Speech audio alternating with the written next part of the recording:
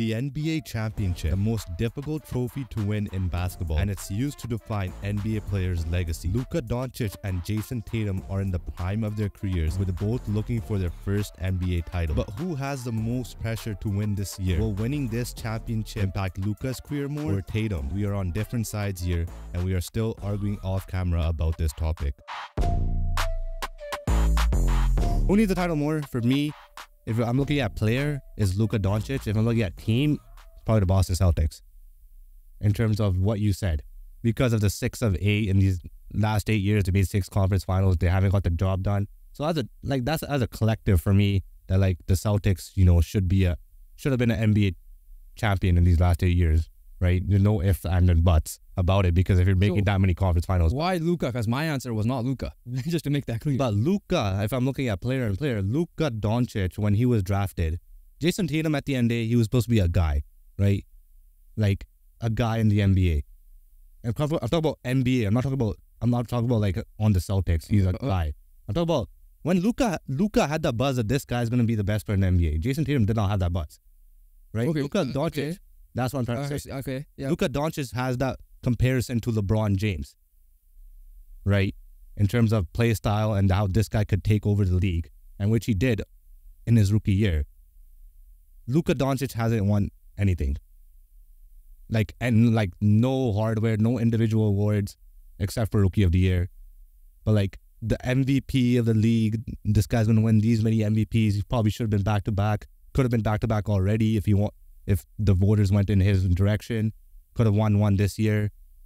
He has got nothing. All the hype, but Luka has nothing to show for it in terms except for just him being incredible on the court. Okay.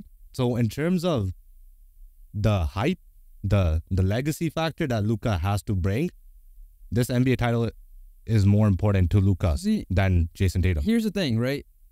I'm not sure if I can pull up some stats. Luka is obviously younger than Tatum because I know he got drafted a year or two later. I think it was a year later, right? He was in the Ayton draft.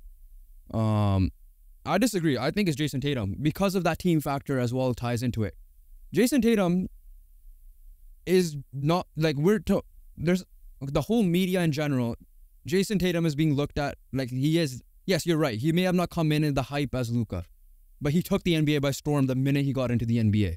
Right, first year, um, conference final, big factor. Took LeBron to game seven. That does not happen when you're a rookie. I'm not saying he was the only guy, right? Kyrie was injured that year as well. Keep that in mind. Second year, the drama comes in. He got out in the second round, I believe, to the Milwaukee Bucks. This was the year you guys yeah, won the yeah, championship. Yeah. Uh, bubble came. That's when he took the league by storm, and um, obviously took you guys out in Game Seven, and then ultimately lost in, in the conference finals. Then, then the year later, this is the year 2021 is a forgetful year in sports for me because we were literally talking about this off camera, like who won the Champions League, who won the who did what was the route of the Stanley Cup and all that. Um, they got bounced in the first round. I do not remember that at all. Uh, it was about a, it was about a. Looked at it. Um, then after that, he's he's emerged. The team has emerged. You put you put this team around, and I'm emphasizing team as well. But Jayson Tatum needs this to shut people up, in my opinion, because now uh, it's getting to the point where people are saying like, is is it his team or is it Jaylen Brown's team? I still think it's Jayson Tatum's team right? You've been coming on the pod saying like I should not be calling him a superstar based on my expectation definition of a superstar. Yeah. I still think he is that, right? He still got voted. Uh, uh, we mentioned last time out of the nine voters, I believe he still got four. So he was still almost won the conference MVP because he still put the points out there. And he, yes, there are moments where it looks, there are moments where that make him look bad. And in this playoffs, because it should be an easy route, which it was, but it, they made it look complicated in certain factors, especially in that conference finals, even though it was a sweep. It, I think Jayson Tatum wins this. He shuts people up because this is the first time Luka has a proper team around him that he could do this with. Jayson Tatum had always the support from the front office, the coaching staff, teammates. Luka never had that. Kristaps Porzingis has been injured. Then he did not fit well with him. You had, I think they went from Rick Carlisle to um, Luka Doncic. They struggle. Kid. Sorry, kid. Kid. Luka Doncic coaching. Sorry, kid. right? Um, last year did not make the playoffs, right? So I don't think from him not when he made the Kyrie Irving trade. Listen, Jordan didn't win his first championship, and it's been a while since he won it, like 28 or something, right? Like he won his first in 1990. He was drafted in 84. Yeah. And you keep in mind he's also a three-year college player. Yeah. Right. Kobe's an exception. Take take him out of it. I think he won in his fourth year. Right. Uh, LeBron had to go to the Heat and win. Right. So the narrative of putting like I hate the fact that like we're like now Joel Embiid is at that age where we have to criticize him for not winning a championship because he he is 28, almost like 30 years old, I believe, right? And the vets like Harden and Paul and whatever. I hate like giving the young guy like, oh, this is his first year in the NBA Finals. He has to win a championship. Uh, the soon as he gets it. That's why I disagree with you there because this is his first like second trip to the conference finals, first trip to the NBA Finals, and he did it as a fifth seed they were they're our underdogs for a reason. So based on that, I'm like, it, it has to be Jayson Tatum because of that, because he had all the support, and because how he went into the NBA, he yes, you're again to your point earlier, he was and you're not as hyped, but once he made his name in the NBA, So it's been elevated. He's been all NBA first So- many times so as well. So the the question is who want who needs a title more, Luka Doncic or Jayson Tatum? The answer right. is obviously both, but if we The pick an- one, the it's a it's a player thing, yeah, right? What you described everything is like why the Celtics need it more.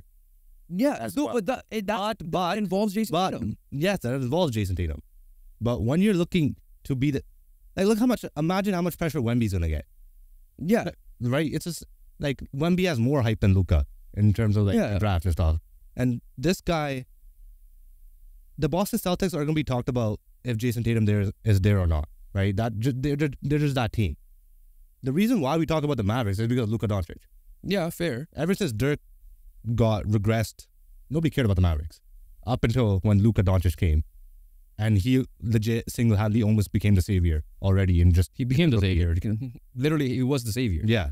And uh comparison to LeBron James, this title, what what could benefit him in this title that will help propel a, maybe a LeBron James talk? I'm not talking about like GOAT, but like I'm talking about like a career trajectory.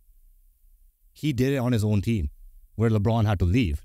That could give him an edge as well True. in this conversation and in his legacy, right? We are we we came into Luka Doncic talking about how this guy's just going to change that change the NBA, right? Just when he was in Real Madrid, balling out, Yeah.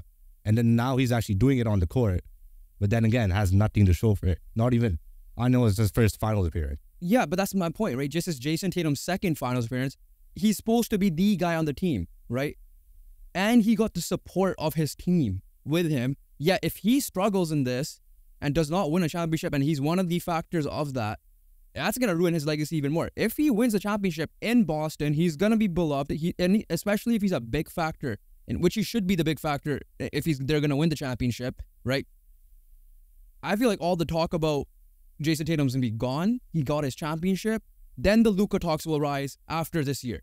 I'm saying after this year. So Because again, Jayson Tatum's route to the finals was easy compared to Luka Doncic's, yeah, right? Jayson Tatum is the favorite to win the championship this year, and also be the guy to do, and being it as the guy. I'm sure he. I don't. Have, I didn't check the betting odds. I'm sure he's a favorite for my finals MVP as well. Maybe it is Luka Doncic because of a player level, but if you're saying usually the winning team gets it, if, if Boston is the favorite, which they, I think they are, then obviously I think Tatum's supposed to be the favorite to win.